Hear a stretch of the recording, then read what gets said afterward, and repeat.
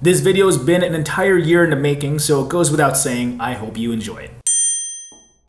Hey Forum, Manny back here with another video on the Cascade Scents Fragrance Station, and this one is on my top 5 most complimented designer fragrances. And I feel like I have to preface this though, and I feel like I'm always saying this annually, that the feedback I've garnered is totally unsolicited. Trust me, I do have a lot of fragrances that are as mass appealing, if not more, than the ones I'm about to mention. But if I actually have to walk up to someone like this and be like, here, smell this, or if they didn't have the performance to get me noticed to begin with, then they'll be pretty fraudulent if they were to make the list, right? Because you know, some of these fragrances fragrances I'm about to mention may have more balls comparison to those other fragrances where I don't actually have to ask someone what it's like. So real talk, performance definitely matters. But as always, please be sure to test these out yourself with whatever is more geographically convenient for you, whether it is ordering samples or going somewhere in store to test them out there, because it should go without saying that results will vary. And again, these are my results. So we might as well finally get on with the first result. Here we go. It's Bleu de Chanel Eau de Toilette by Chanel. As specified, this is the Eau de Toilette concentration of the now staple,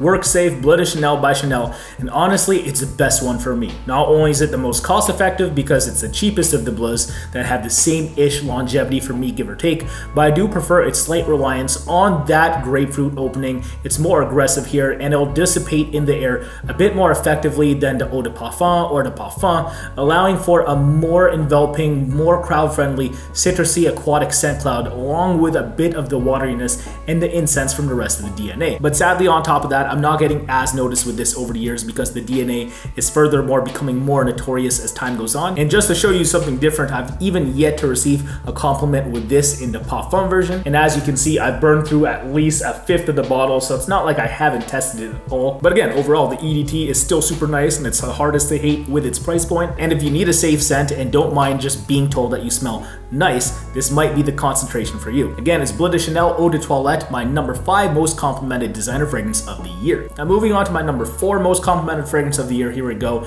It's Aqua Amara by Bulgari. Now Aqua Amara is characterized by three main notes for the most part, which anyone seems to love off of me. A really vibrant, sweet mandarin orange, which kicks it off, followed with some watery notes that become more prominent as it goes on, and then some olibanum, which creeps in, commonly known as frankincense. Now this scent is really cool because while it has a similar note breakdown to the aforementioned Bleu, it's executed in a completely different way like most of the Bulgari aquas are. Like Bleu is a shower gel type fresh, while this is a more nautical mariner type fresh as it really captures the Mediterranean Sea like advertised. So it's an overall very sensible concept, but I'm glad that it's executed in a crowd friendly way because I've received a ton of positive feedback with it and in all stages of the scent at that. And hey, I can't wait to get more wears out of this next summer as it was more of a late summer pickup for me. But again, thankfully it hasn't disappointed whatsoever, especially on the feedback end. So there you go, crowd pleasing and unique for the summer. It's my number four most complimented fragrance of the year, Bulgari Aqua Amara. Now moving on to my number three most complimented fragrance of the year, it's Sweet Tobacco Spirits by 1821 Man Made. Now STS has this super friendly, back to black like boozy tobacco approach,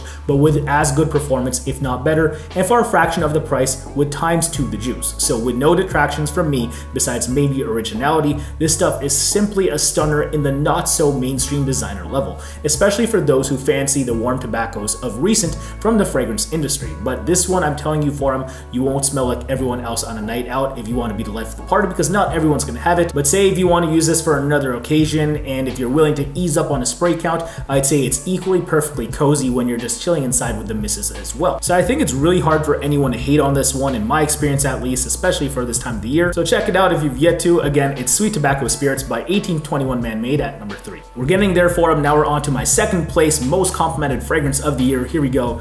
It's Play Intense by Givenchy. Now this one is for all of my breakfast lovers out there. Play Intense has that coffee as well as a sweet syrupy tonka, a bit of fresh spiciness too. And while you have both fairly fresh and warm elements clashing together, they do so rather harmoniously. And people seem to love that syrupy breakfast vibe that it emits. Now I also own New Harlem by Bond Number 9, kind of similar to this. And to a certain extent, both this and New Harlem both came from that Rojas Man and Michael Jordan Legends of the World. But this right here in Play Intense seems to do do me the right most historically as I get the most positive feedback with this out of the four. So that's why I'm still reaching for this stuff after 10 years against my number two most complimented fragrance of the year, Play Intense by Givenchy. And now finally we've arrived at first place, the top spot, my most complimented fragrance of the year. Here we go. It's the Eau de Toilette version of Terre d'Hermès. Legit, besides maybe Allure Homme Edition Blanche by Chanel, this is the one fragrance I recommend the most often to friends with more casual noses because it's super versatile occasion-wise, and it's not like everyone wears it on a Bleu de Chanel or Acqua di Gio popularity level too, but it has a lot of bite to boot,